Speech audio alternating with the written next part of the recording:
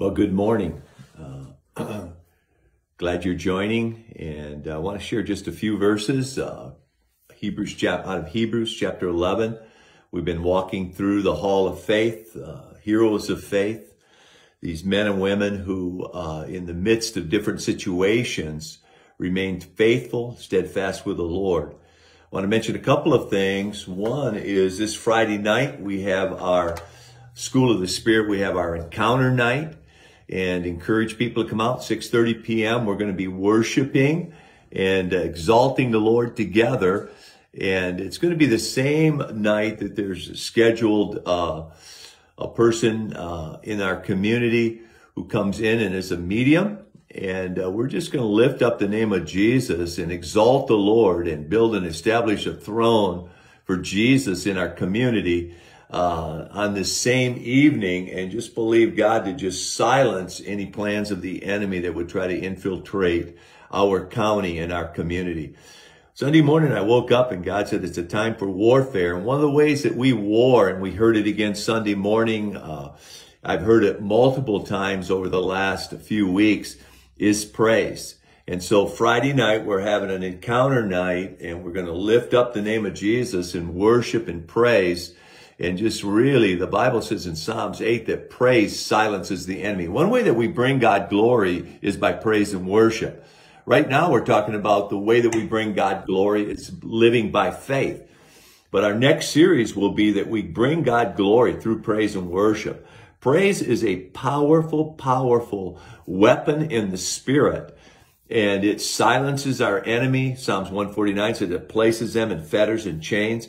And so join us Friday night, 6.30 p.m. here at the Potter's House as we just praise God and uh, just exalt the Lord and establish a throne. It says in Psalms 22, 3, God inhabits the praises of his people. That word inhabit means he enthrones upon.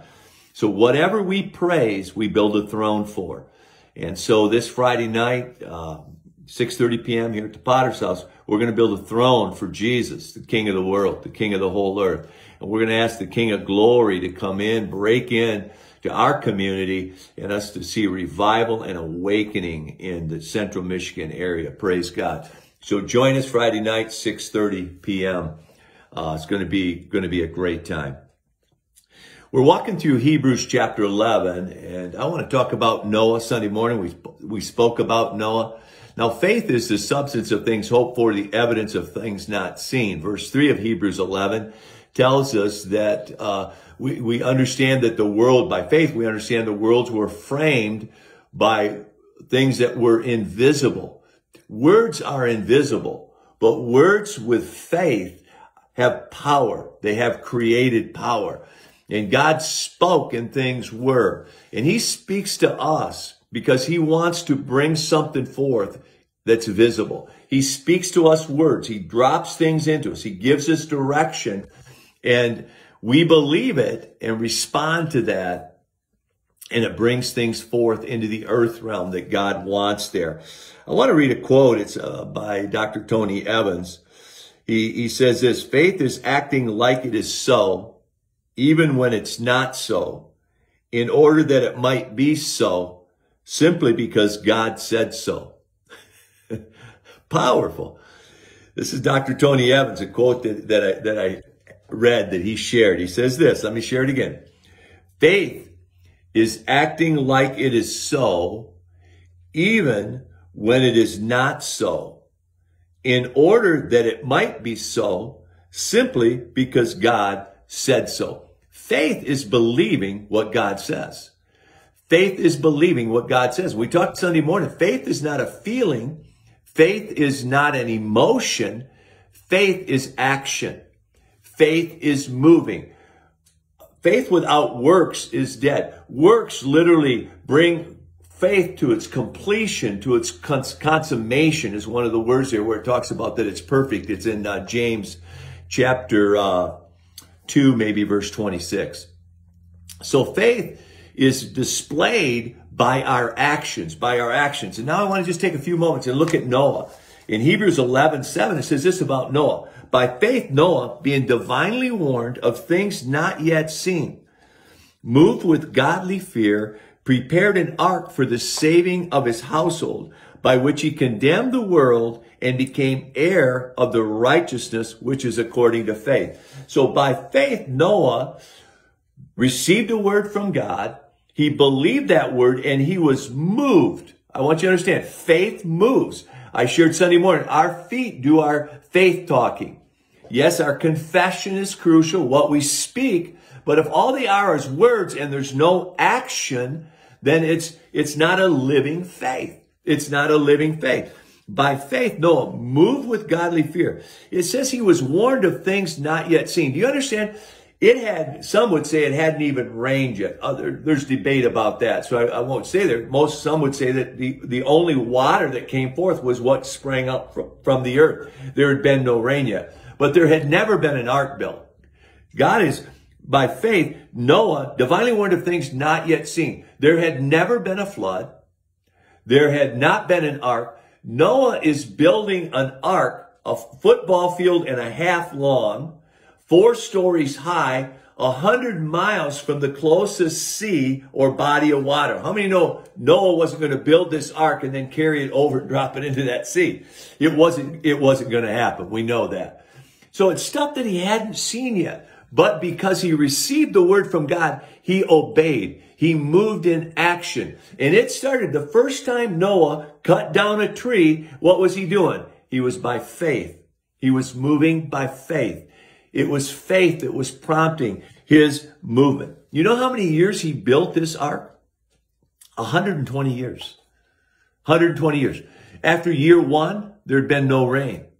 Year 10, no rain. Year 50, no rain. Year 100, there's no rain. There's no indication yet that there's going to be this flood that has never happened on the earth before. After 120 years, and he's in a culture that tells us in Genesis chapter 6, it says he's in a culture where everybody's heart and intent of their heart is evil. He's in this demonized culture that is, you know, ridiculing him, saying, what in the world is this guy doing? And yet he remained faithful in the midst of that culture. In the midst of that culture. I put down here, believed what had never been seen and was invisible. And it was invisible. You've probably heard of hydrostatic pressure. Hydrostatic pressure is external pressure. If you, if a person goes down to a certain level below sea level in the water, the pressure becomes so that their body won't function. They get lockjaw different. If you take boats down and they sink at a certain level, the pressure, external pressure becomes so strong that the, that the, the sidewalls cave in. But a submarine can go so deep. Why? Because it's pressured on the inside. It has pressure on the inside pressing against the in, external pressure pushing against it. That's what we need to do. Noah was in a culture that was pressuring him to compromise. How many know? We're in a culture that wants us to compromise the truth of God's word. Wants us to compromise things that we know are right because God has declared them as right. Even things God has called us to do, there's pressure not to do that. And we need to build ourselves up inside where the internal pressure of the Spirit of God, the life of God, the, the, the faith of God in us counteracts that external pressure. And that's what Noah did. He built himself up. He had to strengthen himself. Remember when David was, uh, he, he the, the, the, friends that he came back when it was came back after Ziklag had raided and taken his family and taken their possessions and everything. And the people there were saying they were angry at David and they were to, they wanted to, I think even harm David. What does David do? David encouraged himself in the Lord. David went and he edified him. He built himself up so that the internal pressure of the life of God, the word of God, what God desired was stronger than that external pressure that wanted him to compromise and respond out of emotion. Man, can I encourage you? What God has spoken to you, one way you activate it is you begin to move upon it. You begin to respond to what God has said and, and, and, and move with God and build yourself up. Jude 20 says, praying in the Holy Spirit, build yourself up in the, in, in your most holy faith. Another way we build ourselves up and we keep that inner strength is Hebrews chapter 10. Don't forsake the assembling of yourself together. We need to get together with other believers and edify, build one another up, strengthen one another, so that this internal, the, the life of God, the life of the Spirit, the pressure of the Holy Spirit in us is stronger than all the external pressure. Noah built an ark in a godless culture. He, he, he built an ark. He, by faith, he moved. He moved. He obeyed God in a culture that was totally against what he was doing. And the Bible says he was a preacher of righteousness in the midst of that culture. The Bible says it began to rain. And Noah not only saved himself by building the ark, but his whole family. He built an ark for the saving of his household. He responded to what God said. One man's obedience. And a brother come up Sunday. His whole family followed him. As a family, they obeyed God. They built this ark and guess what? We're here today because somebody believed God. By faith, Noah moved with godly fear and built an ark, prepared an ark for the saving of his household. Hallelujah. We're here today because of Noah's obedience thousands of years ago. All of mankind would have been wiped out at that point. But Noah heard God was faithful to God and did what God told him to do. Hallelujah. And he gave God glory. He brought God glory.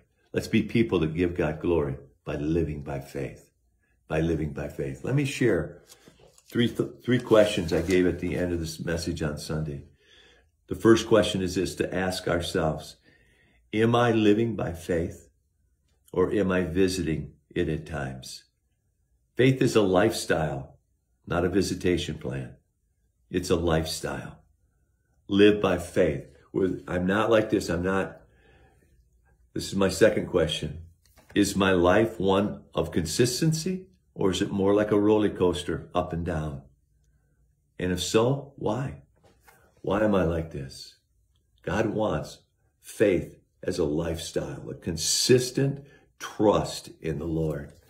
The third one, third question. What challenges am I facing right now? How will I live by faith in the midst of them? How will you, how will I, in the midst of the challenges that I'm facing right now, live by faith? What words, what scriptures has God spoken to me regarding these challenges? And how will I apply them? What's God speaking to me in the midst of my life right now? The challenges that I'm facing, and how do I apply them so that I can live by faith and bring glory to God and bring glory to God. Hey, I hope you're encouraged. Think on the, the life of Noah. Take some time, read back Genesis 6 through 9. Just, just powerful account of a man who trusted God, believed God in the midst of all kinds of externals saying something different he believed what God said. Have a great day.